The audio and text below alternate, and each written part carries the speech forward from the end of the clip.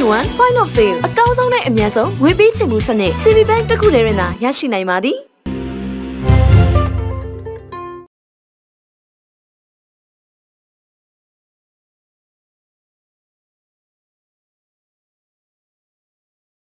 Fantastic Beasts The Queen of Grindelwald ဝါရုပ်ရှင်ထွက်တော်မှာမို့ပရိသတ်တွေဟာလန်ဒန်မြို့လေကောင်ကစိန့်ပေါ်ဘုရားကျောင်းမှာအောင်ပွဲခံဖို့အော်တိုဘာ16ရက်နေ့ကစုဝေးခဲ့ကြပါတယ်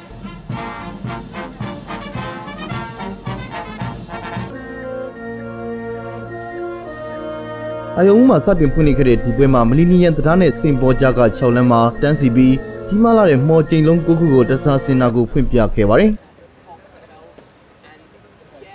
ဒါကတိတ်ရန်ဩစရာကောင်းပြီးသူတို့လုံနေတဲ့မတူညီတဲ့မီးလင်းရောင်ပြသမှုတွေကိုကြည့်ရတာစိတ်သိပ်လှုပ်ရှားဖို့ကောင်းတယ်လို့တိတ်ကိုရင်ခုန်စရာကောင်းတဲ့မနက်ခင်းမှာပဲဒီခါသမယမှာပဲဗြိတိန်တက်က Harry Potter and Fantastic Beasts ရုပ်ရှင်တွေထဲကတခြင်းတွေကို live ဖြော်ပြတင်ဆက်ခဲ့ပါတယ်။ဒီပြသမှုကနောက်လအထိနေရာတကျချီနေမှာပါ။ Fantastic Beasts The Queen of Grindelwald ကိုဗြိတိန်မှာနိုဝင်ဘာ16ရက်နေ့မှာထွက်မှာပါ။